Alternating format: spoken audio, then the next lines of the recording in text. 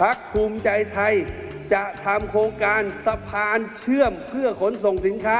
ระหว่างทะเลอันดามัน และอ่าวไทย โดยการเชื่อมทางเชื่อมที่เรียกว่าแลนบริดจ์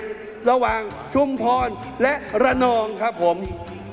นะครับ อีกหน่อยสินค้าเข้ามาไม่ต้องไปอ้อมสิงคโปร์แล้ว เข้าละนอง ประเทศไทยของเราจะเป็นศูนย์สินค้า ของโลกในอีกไม่กี่ปีข้างหน้านี้ครับ ยังไงก็เกิดครับ ผมถึงมาบอกไงว่า เมื่อข่าวที่แล้วพี่น้องครับ ด้ามขวานของประเทศไทยที่เป็นบ้านของพวกเราทั้งหลายเนี่ย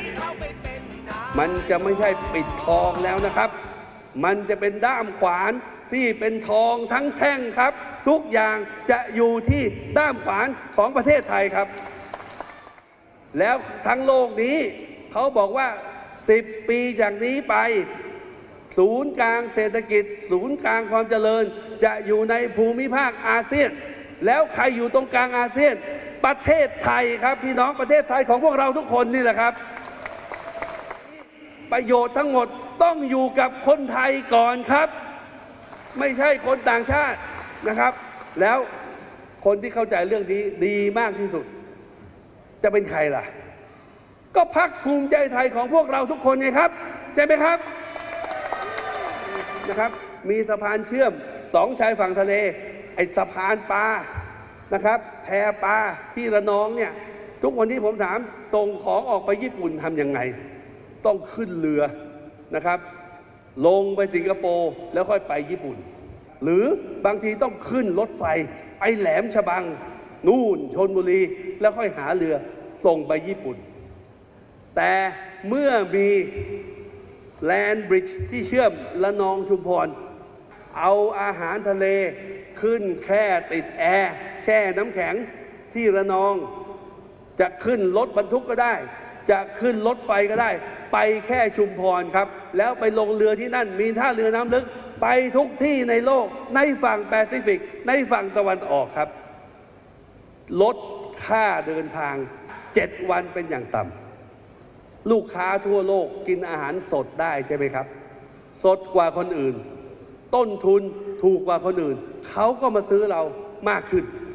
ผมนึกถึงทางรถไฟที่มันผ่านภูเขาที่มันกั้นระหว่างระนองชุมพร โดยที่พ่อแม่พี่น้องไม่รู้เลยว่าข้างในเนี่ยมันมีทั้งทางรถไฟ มีทั้งซุปเปอร์ไฮเวย์ถนนยกระดับ มีทั้งท่อส่งก๊าซท่อส่งน้ำมัน อยู่ในนั้น เพราะ เราจะรักษาภูมิทัศน์ข้างนอกไว้ ข้างนอกวันนี้เป็นยังไง ต่อให้มีแลนบิดก็ยังดูเหมือนเดิมครับพี่น้องครับ มันเป็นเส้นทางเศรษฐกิจครับ เส้นเลือดใหญ่ที่หล่อเลี้ยงให้ประเทศของเรานะครับ ได้มีการพัฒนาให้คนในประเทศมีรายได้ที่ดี แล้วพี่น้องอย่าไปฟังนะถ้าใครบอกเฮ้ยมันทำไม่ได้หรอก เจาะภูเขาวิ่งใต้ลอดภูเขานั่นมันอยู่ยุโรป อีกไม่กี่ปีครับ ไอ้เส้นวิ่งใต้ภูเขาทะลุภูเขาโดยที่ข้างนอกยังเป็นเขียวๆเหมือนเดิมไม่มีใครรู้ว่าข้างใน มีทางรถไฟรางคู่อยู่เนี่ย อยู่ที่หนองคายครับพักภูมิใจไทยทำครับผม ดังนั้นไม่ต้องห่วงครับ โครงการทั้งหลายถ้ามันมีประโยชน์ เรายินดีให้ต่างชาติเข้ามาร่วมลงทุนกับเราครับ ไม่ต้องรบกันครับหันหน้ามาจับมือเอาเงินมาใส่พร้อมกัน แล้วประชาชนของทั้งสองประเทศก็จะมีสุขคุณภาพชีวิตที่ดีขึ้นอยู่ดีครับพี่น้องครับคนใหม่ประเทศไทย